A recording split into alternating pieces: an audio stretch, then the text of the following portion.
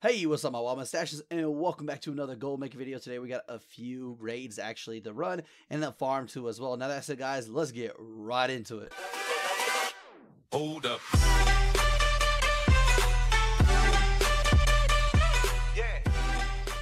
All right, mustaches, and welcome back. First off, I want to say I do apologize for not having a video out for a week. There's a reason behind it, and that is because I was kind of sick and I couldn't actually talk. And every time I talked, basically my voice would give out and so forth. So I couldn't do a great recording or, a, you know, understandable recording, even though you can't understand me half the time because I talk so fast.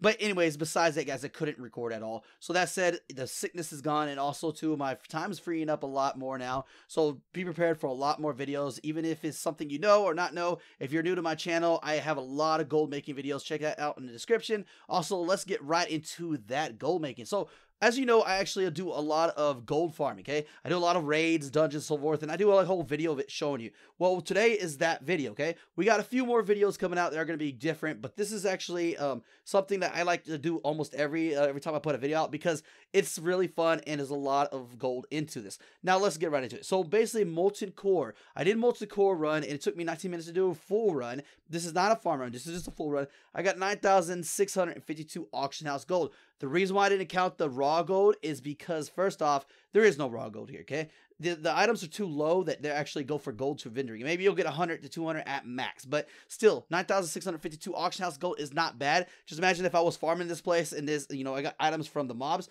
which I actually did. Now, the thing is, whenever you farm, it's all about RNG, RNG, RNG. I always tell y'all guys this, and that's one thing as a new player and as even an old player, you got to understand you're not always going to get exactly what I get, or you're not always going to get exactly what you always get. So basically, the farm I got was 4,984 auction house gold in a 30 minute run. Now, see, that was what Lady Luck gives us, and we didn't get that much actually gold off of it because we didn't get those good drops. If I actually would have um, got good drops out of what I did a 19 minute run for the full run, I would have been amazed by that, but it's not really that amazing here. Now, if you get lucky to me, let me know in the comments below. That's the farm for today.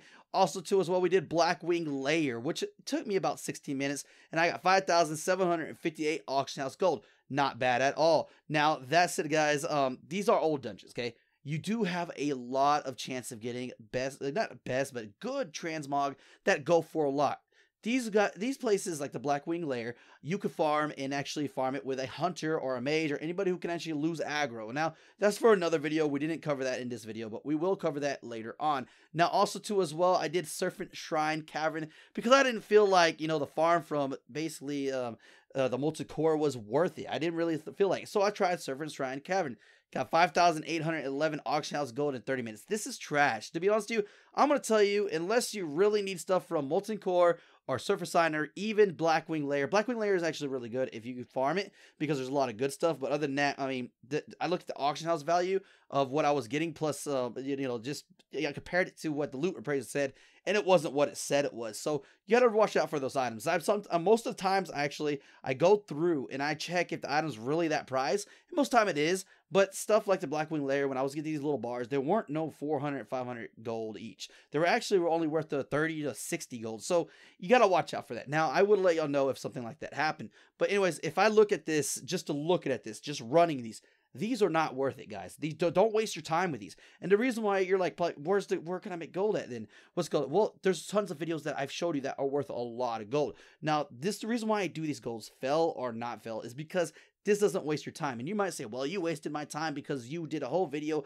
of discussing about farms that uh, you know are worth a crap. Well, that's the point. You spent three minutes, three to four minutes watching my video compared to tw 20 to 30 minutes that you can actually run these dungeons and find out for yourself. So if you actually basically uh, enjoy uh, people who actually show you stuff that you could either do or not do, let me know in the comments below. Actually, subscribe if you're a new subscriber. If you're not a subscriber, um, that's great. But if you are, uh, congratulations, you are an awesome person. Also, too, is gonna be gold. Gold is the keyword. But anyways, if you stay this far, guys, thank you so much. Uh, prepare for more videos. Yes, guys, it's not always gonna be about making tons, tons of gold. As sometimes it's a fell. Sometimes I gotta show you, hey, this is what this is what's basically what you're gonna get out of these raids. And you know what? It's better than actually that 30 minute run that you could have like got back your time for compared to this. Now that said, guys, like always, if you liked my video, please like, subscribe, comment, and stay stashy.